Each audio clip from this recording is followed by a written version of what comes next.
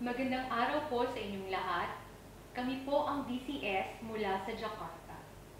Ang napili naming awit ay pinamagatang Mutya ng Pasig, isang kundiman na isinulat ni Nicanor Abelardo.